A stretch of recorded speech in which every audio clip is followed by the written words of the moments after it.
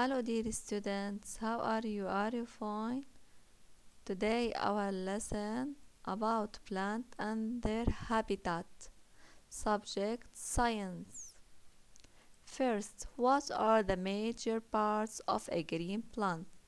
As you see here, there are three parts leaves, stem, roots. And identify the different parts of a plant. Here, leaves, stem, roots. You have to study these three parts. Here we will talk more details about green plants. As you see here, flower helps in reproduction like this. This is a flower.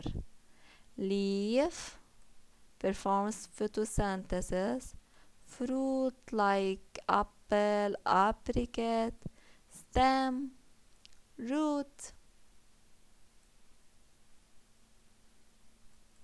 Finally, most plants are made up of three major parts the stem, one, two, the root, three, the leaves.